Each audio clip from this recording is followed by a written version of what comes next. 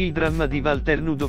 Sono trascorsi due mesi da quando Walter Nudo, vincitore del Grande Fratello VIP 3 è stato colpito da due ischemie al cervello. Ora il noto attore ha deciso di raccontare come sono andati realizzati i fatti e cosa gli avevano detto i medici quando gli hanno diagnosticato il problema.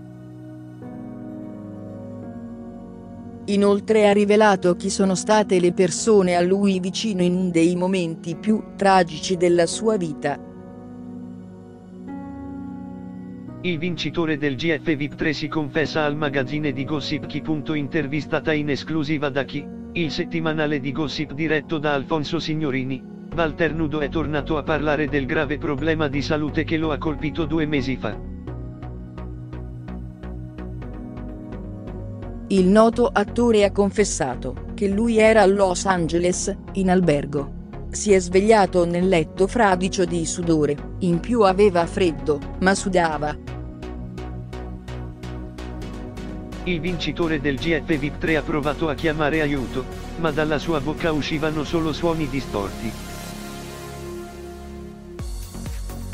Quindi ha avuto il timore di morire. Senza capire nulla si è infilato le scarpe e ha chiamato un taxi. Così, il noto artista è riuscito a raggiungere casa di un amico medico che, compresa la gravità della situazione, lo ha portato in ospedale.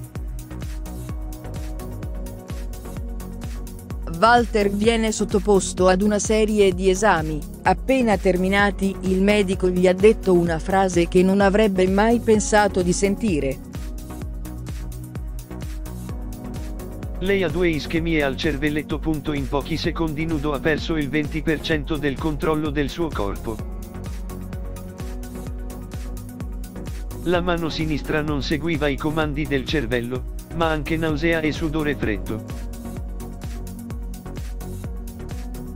E nel frattempo lui sentiva i dottori che parlavano tra loro. Il suo primo istinto è stato quello di scappare.